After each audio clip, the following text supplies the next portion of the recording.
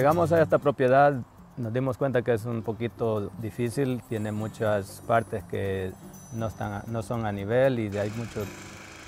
Eh, hubo un poquito más de trabajo que hacer, pero lo logramos hacer. Lo primero que se hace es que sacamos la hoja de las orillas hacia adentro para poder pasar con la máquina después. ¿Verdad? Es lo, que hacemos, ¿no? Sí, se sopla para las partes más factibles para cortarla.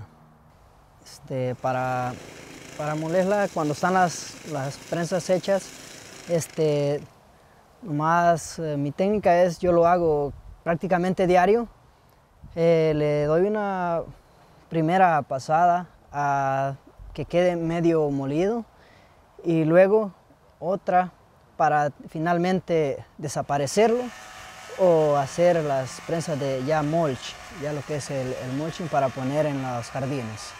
Lo que hacemos con la hoja cuando, hay mucha la, hacemos en parvas grandes, mayormente cuando la usamos en jardines y para poder, en áreas donde se puede moler fácil, que sean partes más parejas. Por lo general eso es lo que se necesita, ¿verdad?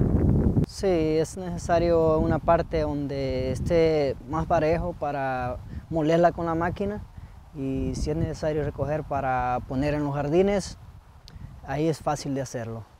E, esto lo usamos para tapar la salida de, de la hoja o la grama para que se mantenga dentro todo el tiempo. Por lo tanto, las cuchillas la pueden agarrar una vez más y por lo tanto desaparecerla. Esta, cuchilla es la que usamos cuando hay que cortar la grama y hay un poco de hoja. Pero ya cuando hay demasiada hoja, entonces usamos esta, que ya es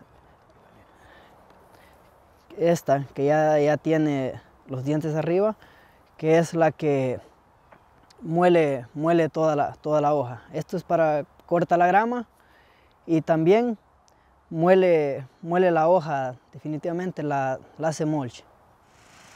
Este eh, se llama Vulture esto es si uno quiere usar la versión un poquito más avanzada, más carita.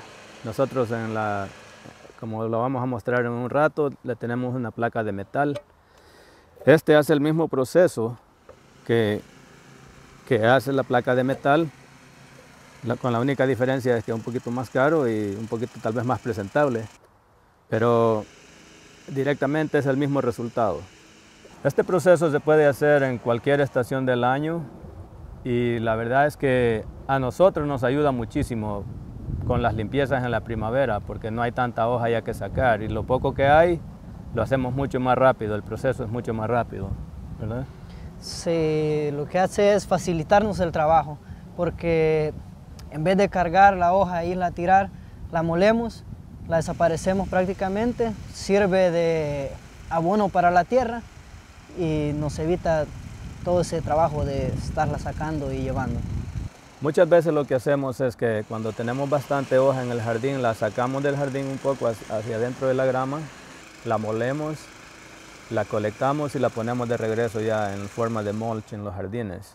Ah, una de las cosas que debemos aprender es a conocer la maquinaria que usamos. No todas son construidas iguales y la verdad es que en ciertas propiedades pues hay que ajustar la altura y, tiene que aprender uno a conocer su maquinaria porque como decimos no todas son construidas igual, ¿verdad? Que...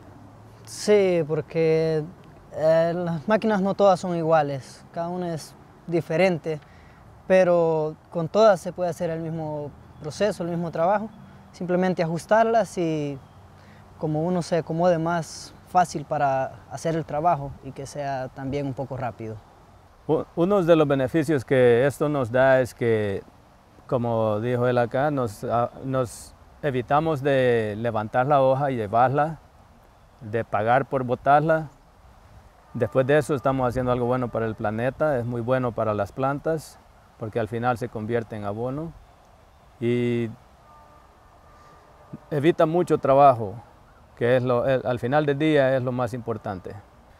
Una de las cosas que es importante de saber es que el demasiado uso de estas cosas, por ejemplo los blowers, los sopladores, es que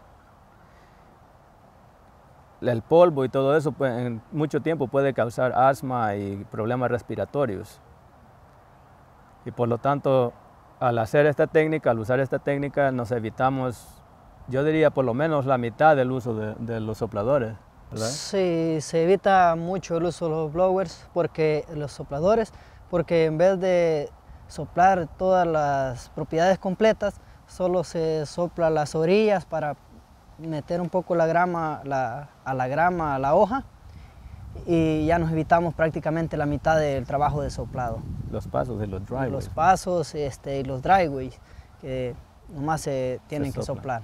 Yo esto lo he hecho por aproximadamente ya 27 años y la verdad es que para mi negocio es muy bueno. Toda la gente que, a quien se lo hago pues nunca me ha reprochado, siempre le ha gustado. Y aún gente que no ha estado muy segura la hemos llegado a convencer que es lo mejor que podemos hacer. Para mí es algo muy bueno, me siento bien que estamos haciendo algo para el medio ambiente. Y al final del día, como digo, es, es, muy bueno para mí porque me da, me da una margen mejor de ganancia.